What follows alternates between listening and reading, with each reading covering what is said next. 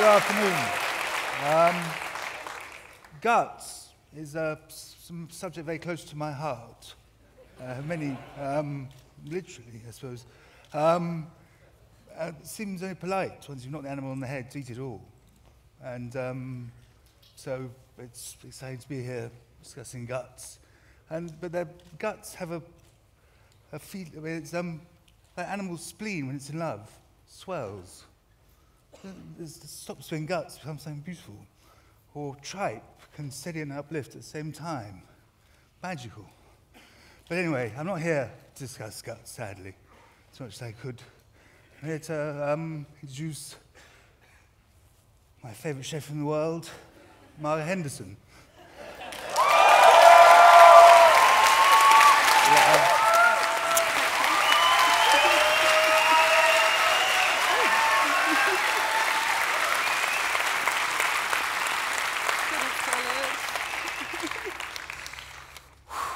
Okay, well, thank you very much. Uh, am I doing that right? Yep. Uh, thanks so much for having me, everyone, and um, it is an honour. Um, so, anyway, The Passion, the Probe, and the Problem. That's my title. Where, why am I here? Well, I wasn't quite sure, except I once banged on to René for a while I was overexcited one night. Too many chefs in the room. But I do love a chef and often think I could write a book about my life and chefs. When I was a young chef, I liked nothing better than the creative, steamy, competitive, hard atmosphere of the kitchen. The more chefs, the better. The more there was to do, the better. And I still seemed to have so much energy that I could carry on into the night with my kitchen mates and still be fresh the next morning. Not so much anymore, but you know, I try. Now, the theme of this talk is guts. And I'm going to use the old Anglo Saxon meaning of the word guts, which is courage, like a lot of people courage. As we all know, it takes a lot of courage to cook and run restaurants, to push forward and to make it work. For a long time, I lacked confidence and spent many years sitting back on starters and not taking on the more responsible jobs. Then one New Year's Eve, I said, Come on, Margot, and I made it my New Year's resolution. Whew, shaking a bit. To push myself into the unknown, into the place I knew I could and should be because after all, I was ambitious and still am, just like the next person. And it was amazing. As soon as I said yes, I, I made that resolution and everything fell into the place. From that moment on, I've always said, yes, you can. Well, I try and say, yes, yes, you can, instead of no, you can't. And in the year that followed, that first year I went for it, I was given the opportunity to run a kitchen and was made head chef at a new restaurant opening in Notting Hill. I didn't have much idea what I was doing, but I knew I had to put together a team. And that's exactly what I did. We all went for it. Peter Gordon, a great force and a calming influence. Catherine Barraclough, she had a gentle touch and her food was delicious. I read like crazy. I read a lot of women writers that I still read and love and cook with. Elizabeth David, Stephanie Alexander, Alice Waters, Mary Sue Milliken, loads of others. It was inspiring to read about women who were succeeding, not only as cookery writers, but as chefs as well. There were also a few blokes, of course. But I was definitely heading to cooks who cook simply and allowed their ingredients to speak for themselves. Well, Elizabeth David, she changed the world of food in Britain, along with Marcella Hazan. They brought European regional food to Britain and introduced aubergines and haricot beans to a land that was eating white sliced bread. I was very inspired by these women, and I looked up to them, and they helped me move forward and in more ways than I can say. I might just have a quick sip of water quickly.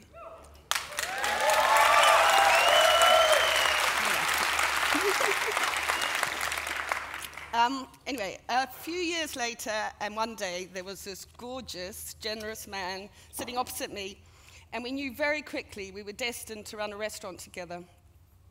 I knew he was wonderful, and I sensed his brilliance with food instantly.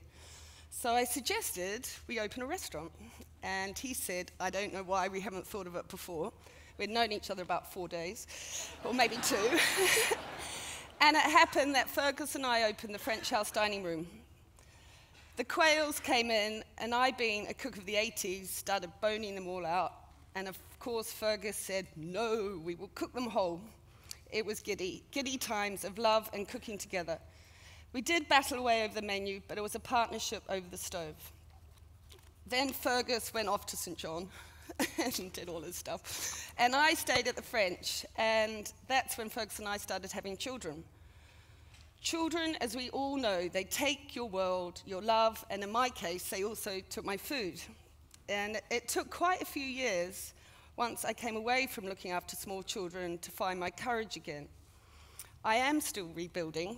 It's a little like the bionic woman. We can rebuild her, we can make her better than before. She will cook again. it's my mantra. yeah, um, but this time it was even harder than the first time, and that got me thinking. I was terrified all the time. Well, I still am, and especially in front of you lot. And at first, my fears just seemed to be the normal ones. Am I good enough? Can I prove myself? Can I cook that dish well enough? Will I fuck it up? Will I be screamed at? Will they like it? All that stuff that goes on and on. But then I began to realize there is another problem. Women don't need as much courage as men, they need more.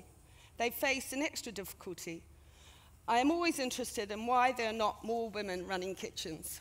Women through history have always been nurturing, loving, they love cooking, they've been cooks in the professional sense. Women love to cook. But they're not around. I mean, obviously there's quite a few here, but this is a quite a special, but you know, out there it's like blokedom, boys club. They're missing from our they're missing from our, from our public cuisine. They're not in charge, and they, they are still the outsiders. And here is a reason, you know, sort of reason. There is a difference be between men and women's approach to food. In fact, I think there, that, this is my theory, and maybe this is the wrong place to say it, but since it's courage, guts is the theme here, I'm going to risk saying it. But there are actually two kinds of cooking. A really great restaurant is aware of both and finds a way to combine them. There is male cooking and female cooking, feminine cuisine as well as masculine. Well, what does that mean? I think it's ancient. I think it goes right back to the Stone Age. Women produce food, men provide food. In other words, we breastfed while the men went out and hunted. Both were necessary. We need both to survive, and both are still in our instincts. Our anatomies decided that.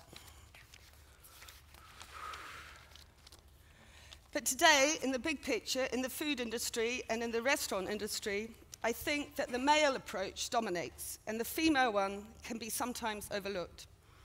Food in a lot of kitchens is treated as well, not the enemy, but as a problem to be solved, something to dominate, something that has to give up its secrets. Kitchens are turning into laboratories. They are filled with tools and weapons. Kitchens today, kitchens today, uh, am I repeating myself? Yeah. Kitchens today are filling up with vacuum packers, sous vides, probes, and all the other stuff. And sometimes the instinctive part seems to get lost. It makes me weep to be told that to confit a duck leg in a plastic bag in water is just as good as confitting it in duck fat. I mean, it's just terrible. Anyway, it's terrible! Terrible! The loving, nurturing side of the trade, the instinctive side, I would say the feminine side, is being overlooked. Just think of the food industry as a whole, and I know a lot of this has been said much better than me, okay? We all know terrible things happen out there battery farming, genetic modification, so that we can drench the crops and the environment with pesticides and so on and so on. It's when this approach, I think the male approach, the hunter had to go out and make war on nature. It's when this approach dominates and obscures the other side, working with nature, that it leads to disaster. Look at mad cow's disease. Anyone in their right mind could tell instinctively that feeding rendered dead sheep to cows was not a good idea. But oh no, the money boys, the scientists, the lab rats, I know they're good scientists as well, they knew best. And in England, we had this terrible crisis and people died. That's a fact, making war on nature. Now, I'm not saying, so maybe I should have pause quickly.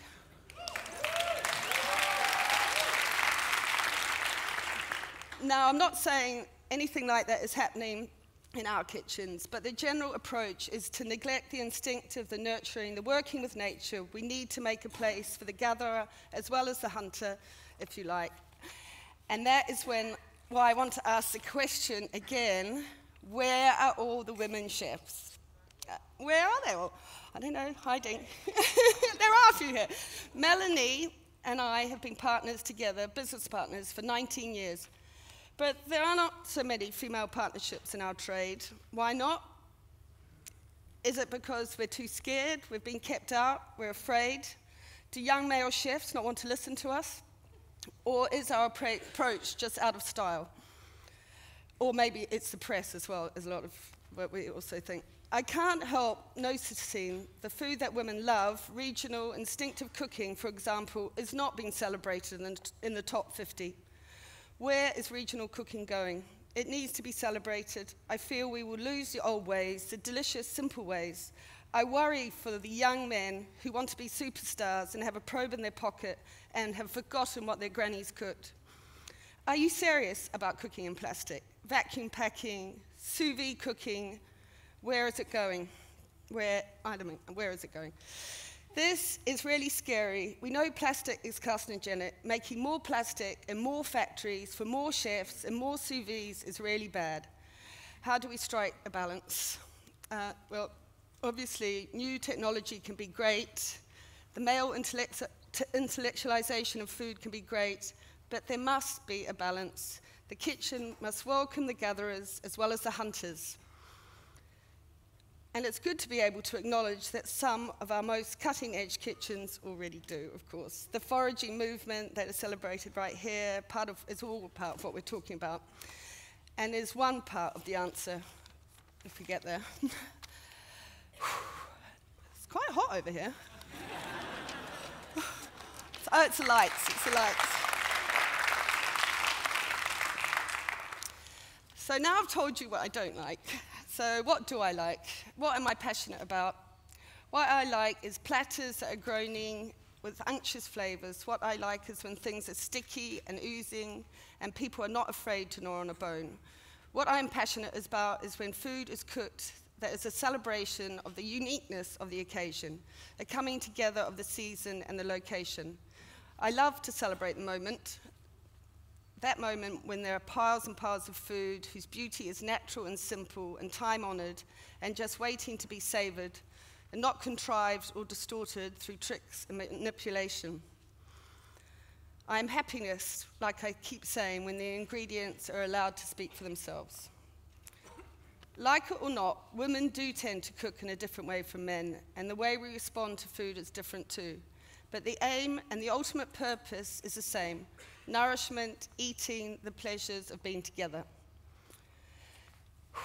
Last paragraph. and so here we are at a symposium. What does that mean? Well, someone told me that a symposium is a Greek word and it means a drinking banquet, a feast of love. And isn't a feast of love a worthy aspiration? If it isn't, you hunters and gatherers, I don't know what is. So well done, everyone.